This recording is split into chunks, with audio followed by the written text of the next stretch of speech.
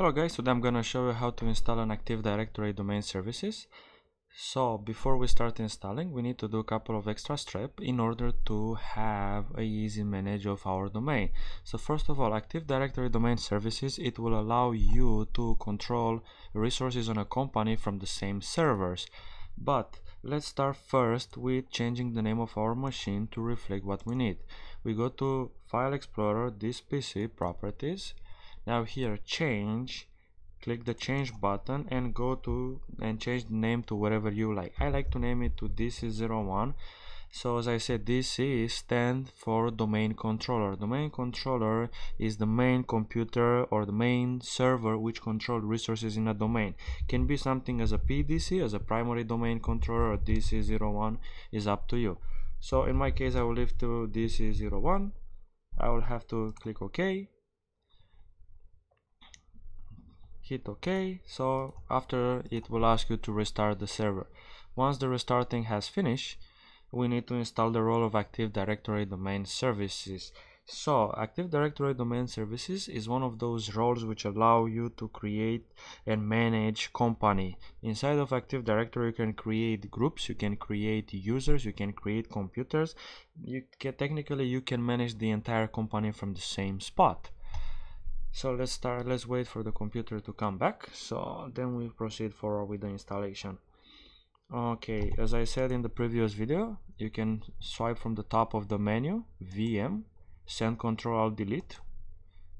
Okay so insert your password.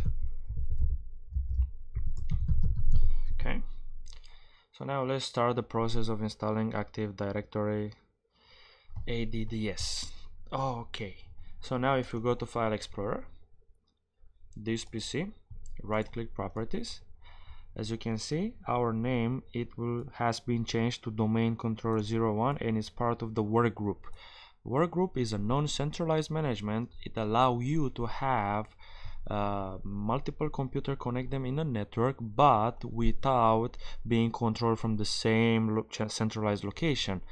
The disadvantage of workgroup that you cannot have a, a work group bigger than 20 computers so the bigger it will become the more noise will be on the network more traffic is going to be.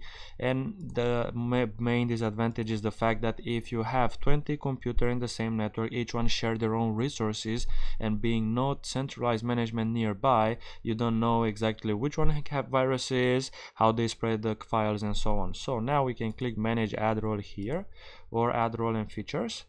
So add roles next. Next. Choose from the list. Domain as you can see we have our own server. Next. Active directory domain services. Click add feature. Next. Next. This it will be about um, Azure cloud. If you have your computer if you want your computer to be accessed from the cloud from Microsoft um, cloud restart the destination server automatically if required. Install okay so while these things is installing we need to change the IP address of our network. Without an IP address we cannot have a proper network so other computer cannot join the domain. So change adapter settings right click properties IP version 4 property oh use the following IP address okay 192 168 1.200 and the DNS is very important as well. Has to be 200 if it's something else it won't be good.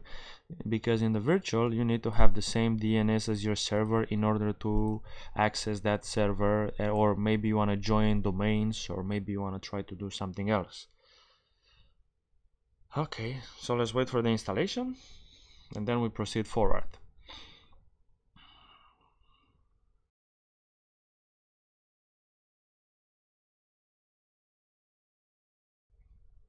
okay so our uh, role has been installed but however now we need to configure.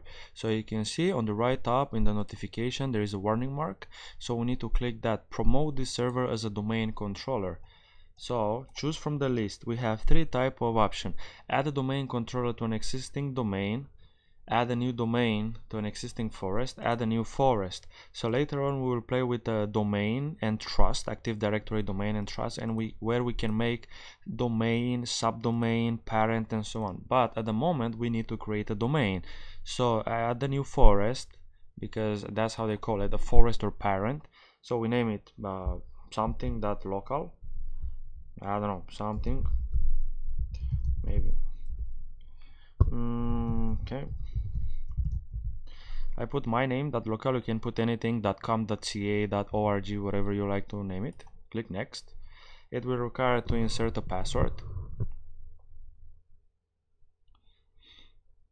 so you can put any one of the password. However this password is very important because every client who try to join a domain you try to deploy uh, w windows deployment services or you try to do something related to the domain it will ask for this password. So make sure you remember your own password and make sure it's different from your own password from the administrative account. Now we can have forest functionality. For example if you have different servers which have different uh, level of uh, forest which mean you have a windows server 2012 right? Or 16 you can select and choose from here different forest level which allow you to have the same functionality. Because remember if you want to join different type of server. You have a 2016 a 2019 or in a 2008 or 12 and you try to merge them together you might get different errors because at the current moment each one have their own level of the forest. So in case you try to uh, make a trust you might need to have the same level of the forest. If you deal with 2019 you need to deal with 2019 as well. If you have 2012 you need to deal with 2012 so it will be much easier. So you just click next and go on next install So one thing which you need to know after the installation of ADDS, your IP address here, it will be changed back to 127.0.0.1, which is the loopback. Okay guys, so the installation is successful. I will speed up the video and see you soon. Thank you so much. Don't forget to subscribe and like my videos.